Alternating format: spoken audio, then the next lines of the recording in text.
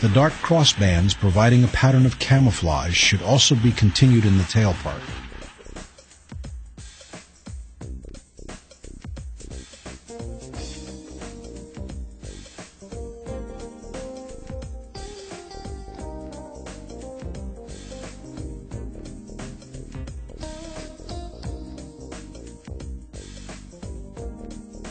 Like most baitfish, the sculpin also has a darker region on its back.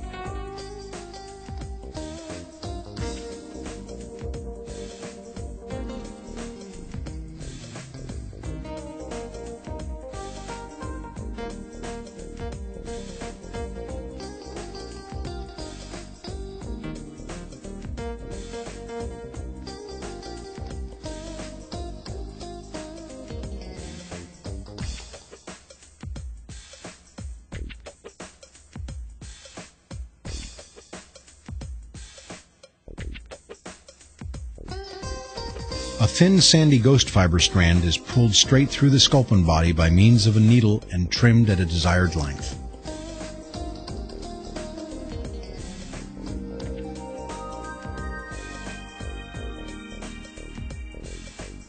The fins are now positioned and fixed with superglue.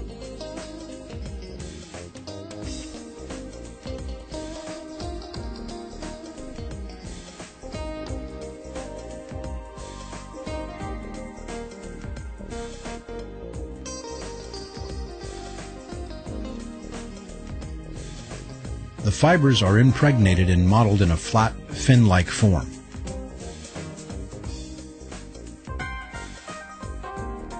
The fins are striped and the ends are trimmed into a rounded form.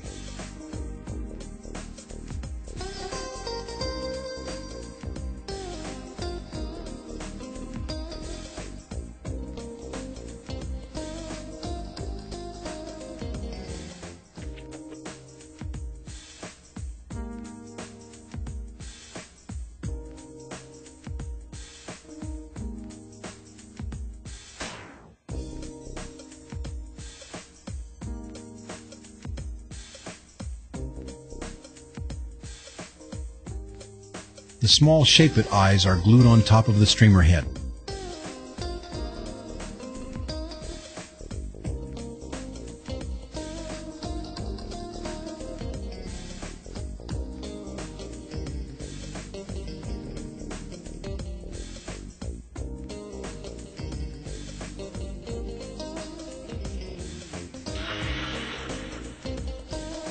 A few drops of superglue are needed to finish this attractive Roman Moser sculpin.